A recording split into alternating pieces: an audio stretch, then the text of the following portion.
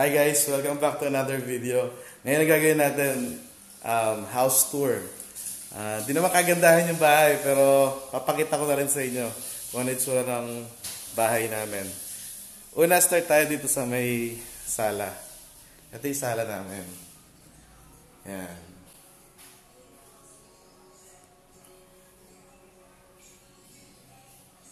Yan yung sala. Ito yung sa may parang, dap, ang plano ko dito dapat ano eh, um, mini bar. Kaya lang, ah, medyo umiwas na kasi ako sa pag-inom. Kaya, yan, naging ganyan siya. Parang display ng mga toys ni Jared, saka nung bata pa si Kyle. Yan. Yan guys. Tapos, ito yung kusina namin. Ito yung dining table namin muna. Yan. Yan yung dining table. Tapos, ito yung kusina. Yan.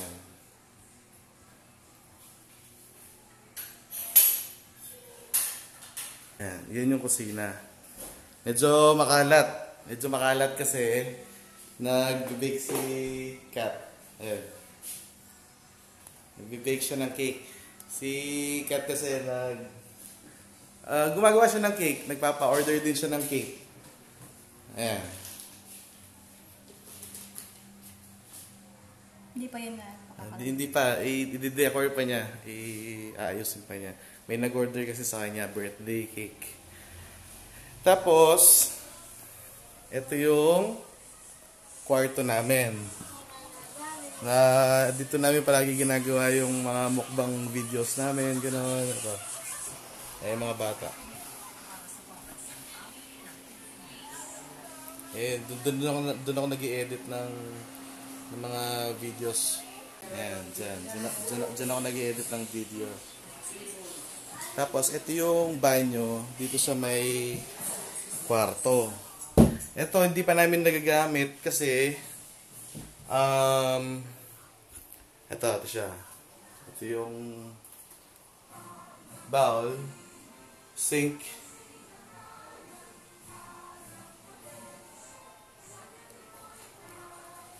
Tapos, ito yung shower area. Kaya lang, hindi pa namin nagagamit. Kamukha na sinabi ko kanina kasi nga, wala pa siyang glass. Dapat kasi to may glass dito. Tapos, yung, yung glass door dito. Ah, hindi natapos yung paggawa siya pero wala ng budget. Ah, ngayon, nagtanong-tanong kami kung magkano yung paggawa. Ang mahal. So, hindi pa namin matapos-tapos. Naliligo pa lang kami doon sa banyo sa likod yung tinirahan namin nung pinapagawa namin tong bahay na to. Tapos ito yung parang walk-in, mini walk-in closet, nasa banyo na rin. Ah, ayan. Para pagkatapos maligo sana, diretso bis na. Di ba? Actually, o- okay siya. Ayan. Hindi ganito dati tong bahay na to.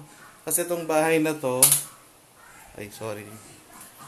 Tong bahay na to, ano, dito dati nakatira yung parents ng asawa ko.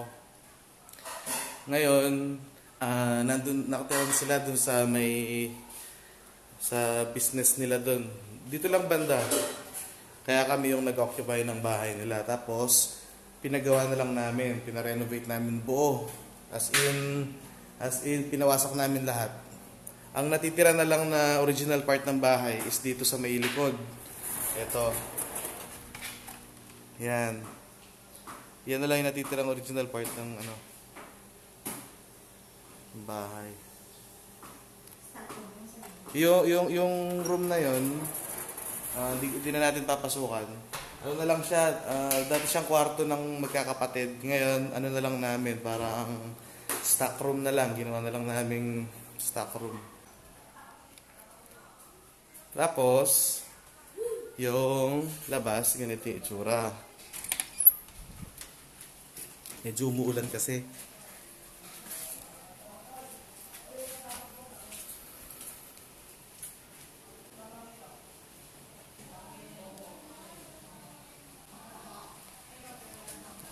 Lakas ng ulan. Tapos ito yung computer shop ko. Oh, di mo kaya! Tek, ang bilis naman nun.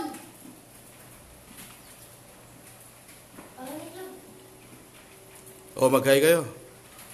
Nasa vlog kayo. Shoutout nga pala. Ayan yung mga players. Oh. Shoutout naman kayo sa vlog oh. Oh, wala, wala kay shoutout. Oh. Shoutout nga pala sa nanay ko. Magtutuwa na. Oh, ikaw balang ay balangga. Bangus, bangus, Bangus. bangus. Ah, wala, wala. Wala, wala. Oh, si Ace, may shoutout ka. Wala, wala din. Nahihiya.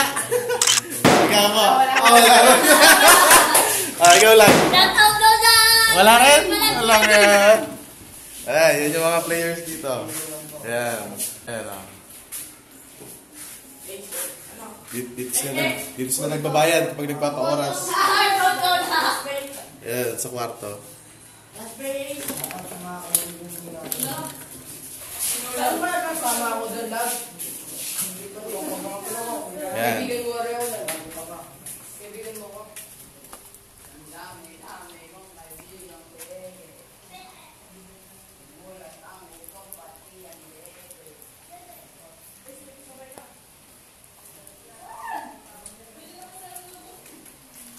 Yun dati, ano ko yun, ah, parang doon ko pinapark yung kotse ko dati. Ayun, nag-decide kami na gawin siyang computer shop. At least nasa harapan lang siya. Ah, Hindi makailangan bantayan ng full time. Kasi nga, nagbabayad sila sa pinakita ko kanina, yung sa may bintana. Nasa nahihiya yung mga players. Tinutok ko sa kanila yung, yung vlog. May shoutout kayo ako. Wala, wala.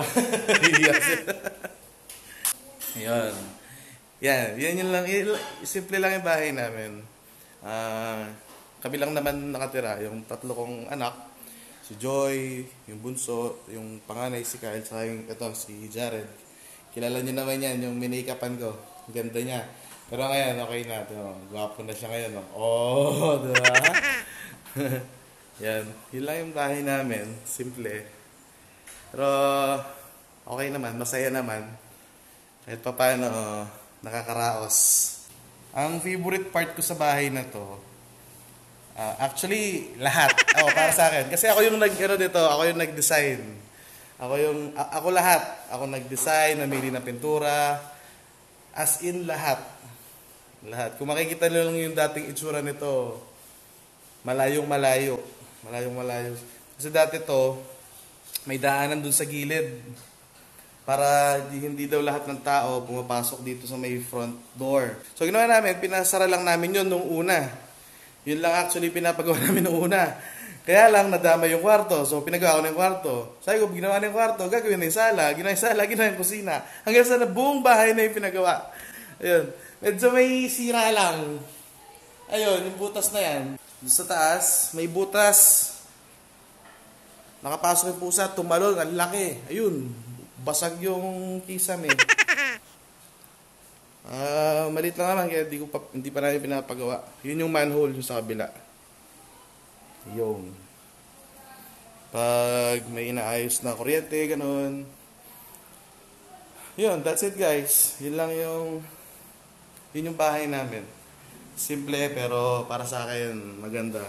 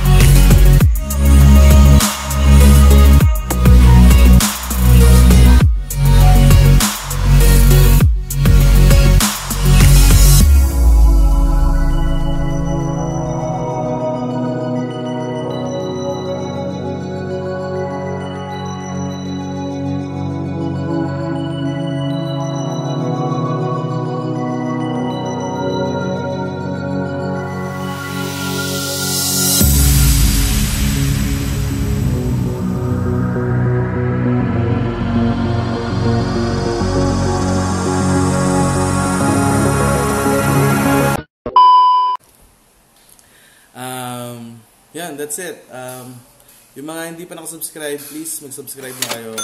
Turn on the notification bell for future uploads. And check nyo pala, visit nyo pala yung ano, yung channel ng asawa ko, yung Mommy Cat's Cake. Subscribe na rin kayo doon. Ah, ang ginagawa niya doon, yun, yung baking, yung ginagawa niya ngayon. Tapos nag-haul, grocery haul, ganun. Ah, iba-iba. Yan. Yun lang, guys. Ah, thank you. Sana nag-enjoy kayo sa house tour.